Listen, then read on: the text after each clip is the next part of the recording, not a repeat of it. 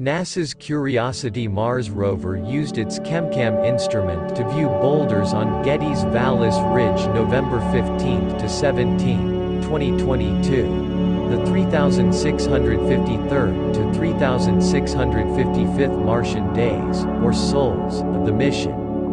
These boulders are thought to have been washed down in a debris flows in the ancient past and are probably some of the youngest evidence of liquid water Curiosity will see on Mount Sharp. Figure A is the same image with close-ups of several boulders. Curiosity has been ascending the foothills of the 3-mile tall, 5-kilometer tall, mountain since 2014. Water ebbed and flowed on Mount Sharp billions of years ago, at times forming lakes and rivers that would dry up and flood repeatedly.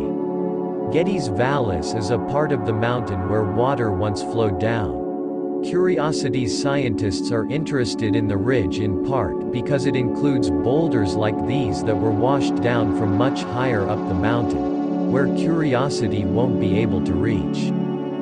From left to right, the boulders depicted in the circles are approximately 984 feet, 300 meters, 1,312 feet, 400 meters, and 656 feet, 200 meters, away.